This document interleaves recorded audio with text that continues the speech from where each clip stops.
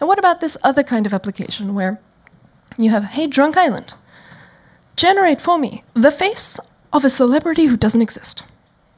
That application is a real application. That works. The technique there is called generative adversarial neural networks, or GANs, and it's all the rage these days. Here's how to think about those. There are two drunk islands, not one.